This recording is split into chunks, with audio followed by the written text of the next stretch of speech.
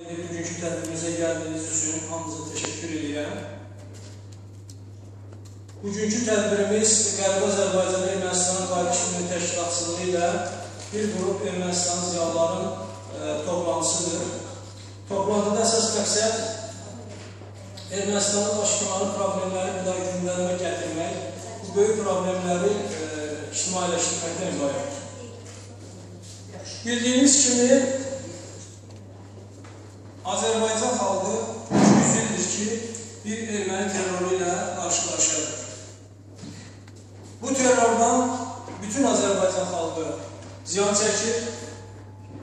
Ən çox da ziyan çəkən Azərbaycan xalqının Qarabağ bölgəsində və İrəvan bölgəsində yerləşən hissəsi olmuşdur.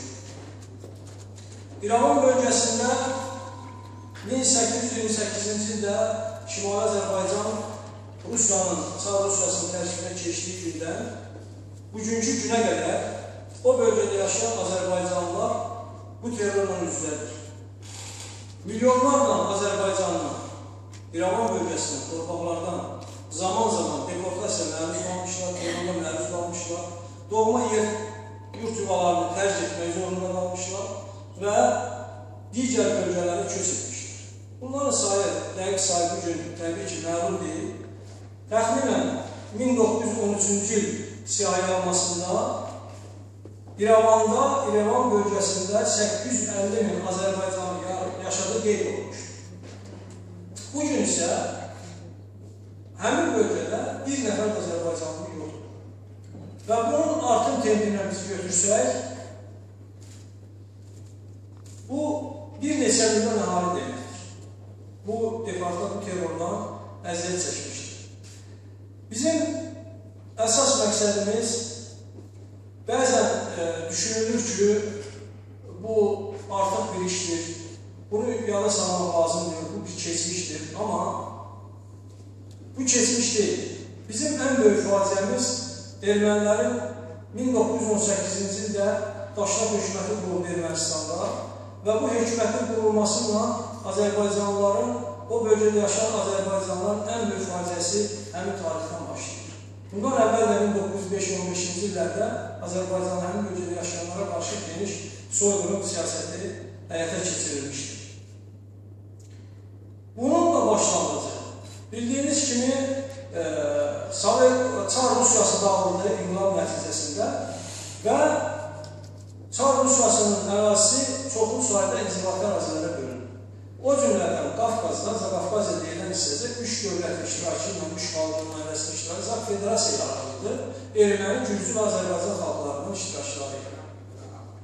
21 may tarixində gürcülər və ermənilər bu federasiyadan çıxdılar, öz müstəqilliklərini elan edilər. O cümlədən də Azərbaycan nümayəndə heyəti Azərbaycanın demokratik cümləətini müstəqil bir dövlət kimi dünya bəyan edilər, bəyannamə qəbul edilər. Bu zaman problem ortaya çıxdı. Ermənilərin dövləti hansı inzibati ərazide olacaq? Çünki bunların kompakt yaşadığı, çoxluq təşkil elədiyi dövlətdə ərazi çox e, məlum deyil, yəni belə bir ərazi yox idi. Xarici qüvvələr, ermənipərəst qüvvələrin təzyiqi ilə Azərbaycan Demokratik Cumhuriyyətinin Fətəli xan Xoyskinin başçılığı ilə yığılan hökumətlər məcbur oldular İrəvanın, çünki tələb kimi qoymuşdur ki, biz Azərbaycan müstəqili vaxt tanıyacaq ki, siz ermənilərlə razılığa gəlin və ermənilər bir dövlət qursunlar. Yəni tələb bu cür, Azərbaycan müstəqili tanınması üçün xarici dövlətlər, Avropa dövlətləri.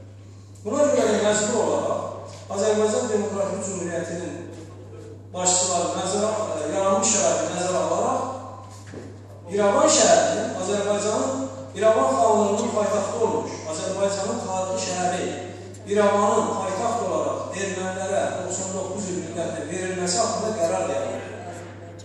Və bizim İrəvanda Ermənistan bölgəsində, bugünkü Ermənistan arasında yaşayan Azərbaycanlıların faciəli tarixi həmin qərardan başlayır. Həmin qərarla başlayırsa çox e, səhv etmiş olmaq. Bununla ermənilər ilk dəfə olaraq tarixlərində Qafqazda ilk dövlətlərini qurmağa nail oldular.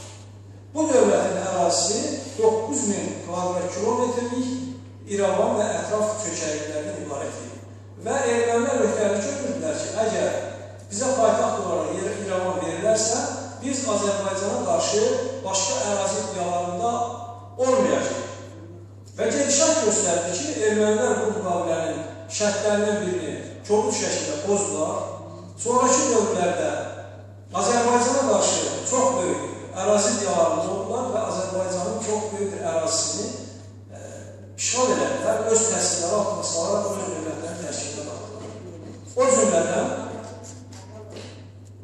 Göyçə mahalını, Qaraqoylu mahalını, Vedibasar mahalını, Zəngibasar mahalını, Lor Pəmbər mahalını, Amasya mahalını sonraki dövrlərdə Ermənistan dövlətinin Rus bolşeviklərini istifadə edər Ermənistan Sovet Sosial Respublika tərkibinə daxil edir. Və Qarabağ xanlığının, Qarabağ torpaqlarında yaşayan ermənilər isə muxtar qurum statusu alır.